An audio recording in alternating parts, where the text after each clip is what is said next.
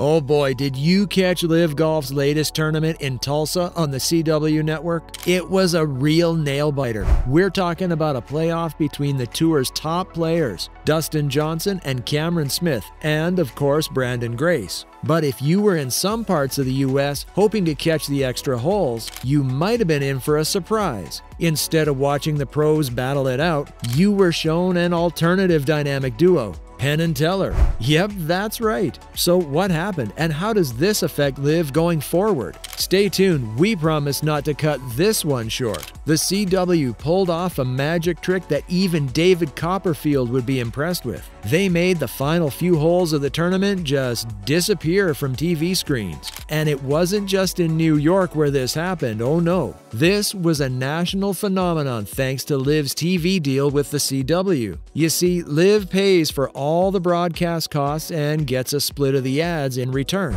It's like they're playing a game of let's split the bill, but with TV networks. And it's not just the affiliates who seem to be underwhelmed by LIV Golf. With meager TV ratings from its first few events in 2023, it's starting to feel like a Penn and Teller special would have made more sense for these affiliates to show. LIV fans may have been able to catch the tournament's conclusion on the CW app, but we're pretty sure they would have preferred to see it on their TV screens instead of their tiny phones. With the extra holes, there was no chance to extend the TV broadcast due to the rain delay. It was frustrating for fans eagerly waiting to see an exciting finish. Some people are comparing it to the infamous Heidi game from 1968, when NBC switched off the Jets Raiders game and missed two Oakland touchdowns in the final minute. But come on, people, it's 2023.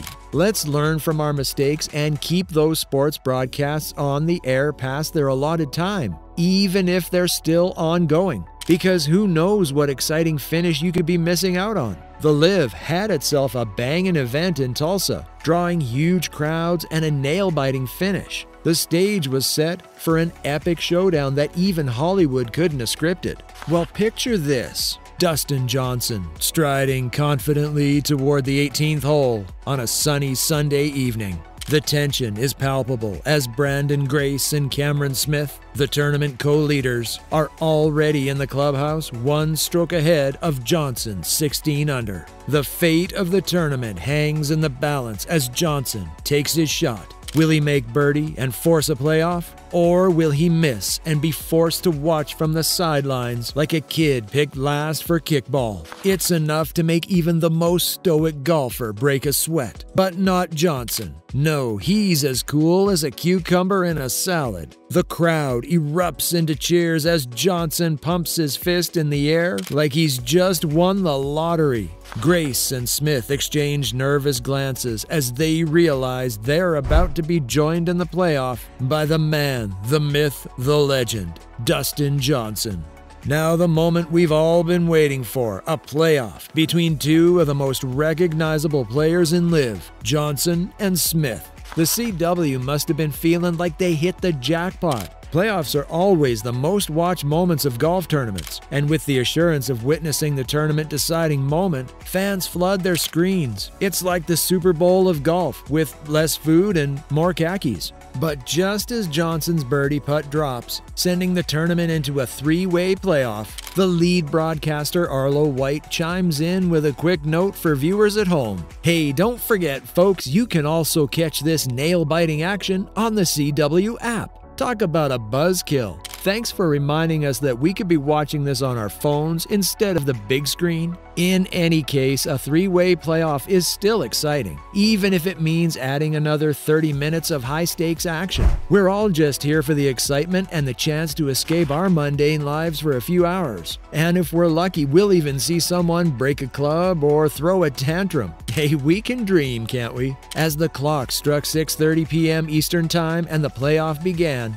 fans in major markets like New York, Dallas, Philadelphia, and Chicago were in for a rude awakening. Affiliates in these markets started switching off from the tournament, resuming their standard programming. That's right, folks, just as the tournament was heating up, Viewers in these markets were treated to the joys of unwanted sitcom reruns and news shows. Because nothing says excitement like a rerun of Friends from 1998. The only way for viewers in these markets to catch the rest of the tournament was through the LIV Golf Plus and CW apps. Imagine watching viewers frantically switch between channels and apps, trying to catch a glimpse of the action. It must have been like a game of musical chairs. LIV's dream viewership turned into a nightmare faster than a golfer's swing. Fans on social media were spitting mad at the network's decision, and LIV is feeling the heat. It's like they accidentally landed in the rough instead of the fairway. And let's not forget about the lost viewership from those key markets. That is like missing a hole in one by an inch. Talk about a major disappointment for the league's advertising and sponsor interests. It's enough to make any golfer throw their clubs in frustration.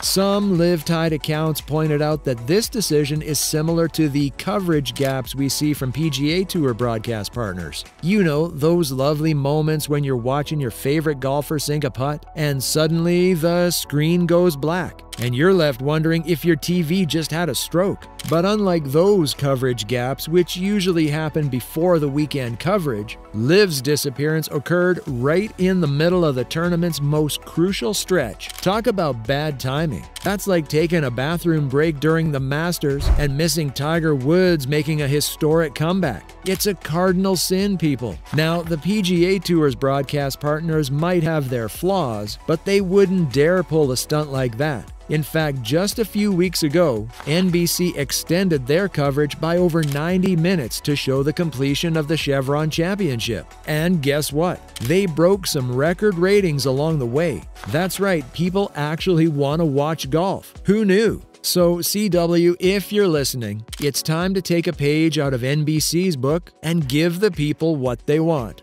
We don't want to miss a single moment of the action, even if it means sacrificing our bathroom breaks and our beer runs. Because let's face it, in the world of golf, anything can happen at any given moment, and we don't want to miss a single stroke of it. LIV may have shot themselves in the foot with their latest coverage decision. We're not sure how many viewers they lost, but let's be honest, trying to figure out the league's TV audience sizes is about as easy as hitting a straight shot after a few too many beers. According to reports from the Sports Business Journal, the CW network has made it crystal clear to all their 210 local stations that they are committed to keeping the LIV tournament on the airwaves until the very last putt drops. No more premature endings, no more golf fans left hanging like a ball stuck in a tree. In a statement released by LIV, the CW network expressed their dedication to the cause, saying, LIV Golf and CW Sports are learning together together what will delight our fans and grow our franchises. And we're proud that we are nimble and able to make adjustments as these learnings are made available.